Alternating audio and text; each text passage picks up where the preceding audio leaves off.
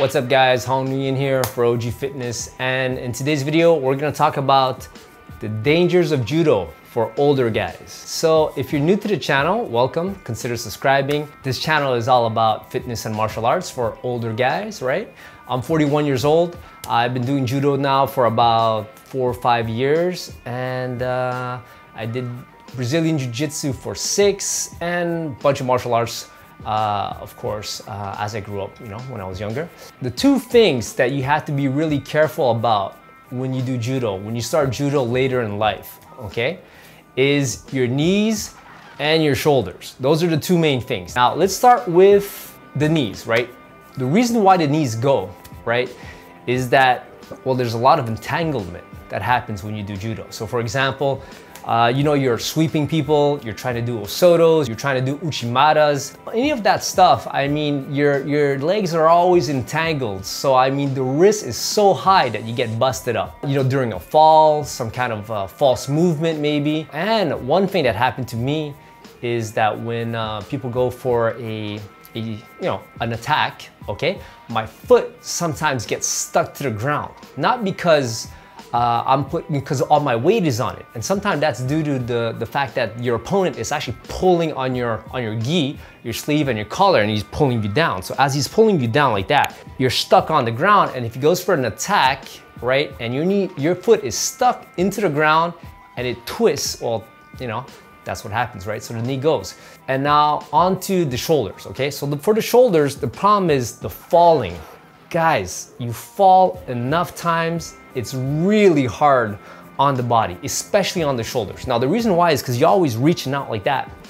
And as you fall, which is, by the way, you shouldn't be reaching out like that, but even if you fall and you break fall properly, that's fine, right? Even if you break fall, sometimes you don't have time and you just land on the shoulder. Or you might be in this configuration where your arm is bent like this and you fall down like that, which you shouldn't, but it does happen, right? Sometimes you, you didn't fall 100%, so to speak, right? So it wasn't ippon. It was just that you fell kind of like um, half, halfway towards the ground, and then boom, you gotta get back up, and that's what happens. So it adds up, it adds up, right? And also another thing is that, well, when you're doing judo, you're, you're here, right? You're constantly trying to grab the guy, grab the guy, pull the guy like that. So what happens is that this arm is already constantly being pulled on, okay?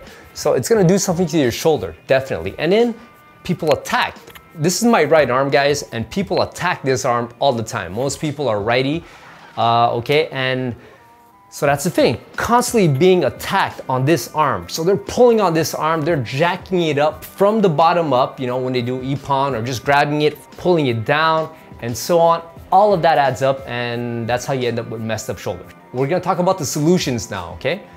For your knees, there's only one way to go about it. You gotta get bigger muscles and stronger muscles. The bigger your muscles are, the more potential you actually have for strength. So you actually want your legs to be, oh, I'm not saying, actually the bigger the better. if you're an older guy, the bigger the better. Because it's not like if you could pack on muscle that easily, you know, that's, that's a fallacy.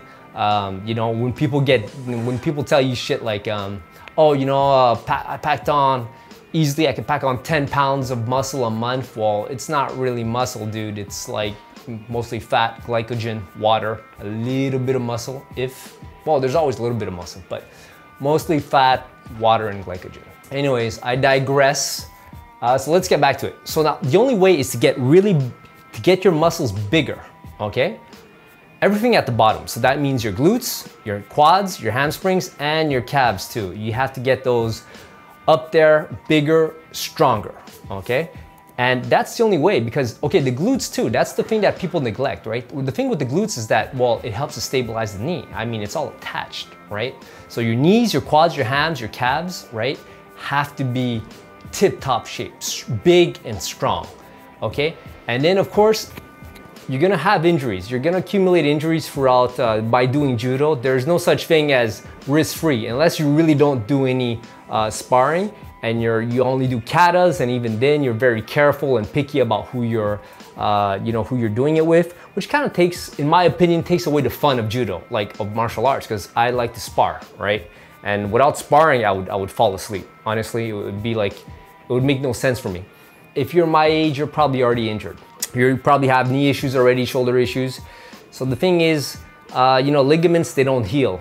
And if your ligaments are damaged, partially torn, like mine's are, the only way to go about it is to have really huge muscles to compensate so it could stabilize the knee because you don't have those ligaments. Your ligaments are either completely torn off or they're weak. So for the shoulders, you gotta get your shoulders really strong too.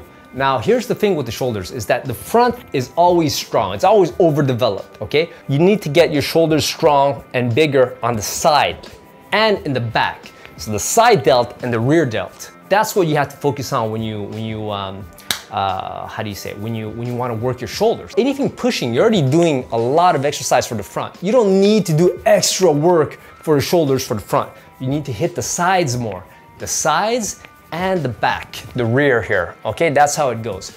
And of course, here's the other thing, um, you gotta work all the, uh, the back muscles, right? Upper back, to be able to pull this back, okay? And you gotta work on your mobility. Oh, that's the thing too, guys. You have to work on the mobility of your hips too. So when, let's just backtrack a bit, go back to the legs, okay? All the muscles in the legs, right? Plus you have to be mobile, okay? In terms of your hips, so you have to work on your mobility.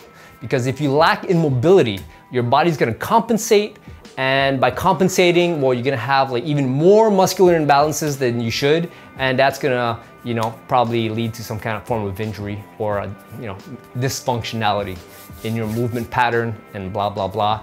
And that's just like a cascading effect to you getting messed up. okay, so the shoulders.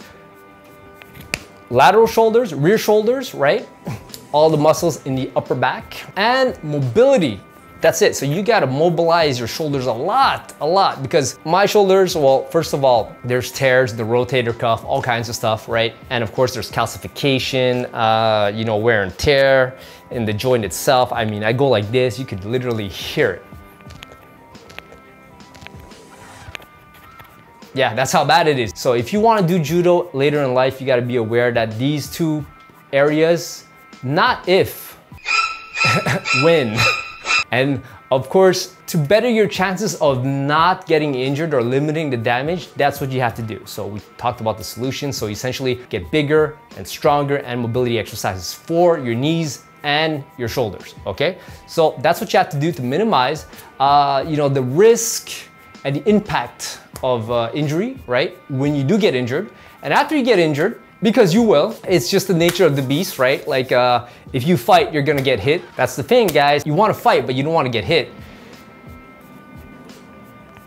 Sorry, man, that's, you know, uh, that's something that a lot of people do uh, in traditional martial arts where there's no sparring. Don't believe you can fight if you actually don't have any real sparring in your practice. If you don't spar enough or if you spar once a month, well, that's really not enough to, to see any big improvements. There's no such thing as high level judo or high level anything for that matter without injuries, right? You're gonna have to live with it. Uh, and it's something that you have to accept because if you don't, then that's what it is, man. Like, um, then don't do it. Do something else. It's okay. Not everyone's a warrior. I mean, sorry. A huge shout out to my boy Christian Fan. Uh, he's my video editor, and without him, well, these videos would be pretty much shit. That's it for this video, guys. I hope you enjoyed that. Hope you guys like the new setup. I'm working on it. It's still a work in progress and um, upping production value because I wanna grow this, this channel with you guys. Like the video, comment down below, subscribe. What do you think? What are you guys dealing with? And uh, yeah, I'll see you guys in the next one. And share the video, helps me to grow and all that. All right, peace.